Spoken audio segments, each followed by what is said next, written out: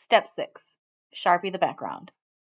Trace the uncolored background details with a thin Sharpie. Remember to use shading techniques such as hatching or stippling. Feel free to add more details if you feel it is too plain. Remember that when shading with lines, the closer the lines are together, the darker, and the further apart the lines are, the lighter it seems. For the dirt in front of the barn, I decided to use the doodling technique. Refer back to your notes for help. To represent the grass with lines, I'm just going to use the directional lines similar to what we use for the color pencils. The direction matters. To represent the asphalt, I'm just going to make tiny little marks or dots.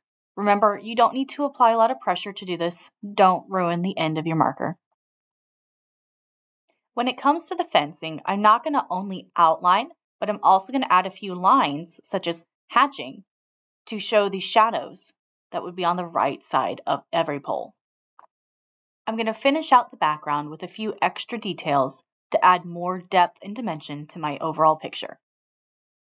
The final step in this project is to carefully outline the box that we have going around our paper, dividing the outside color from the inside black and white picture.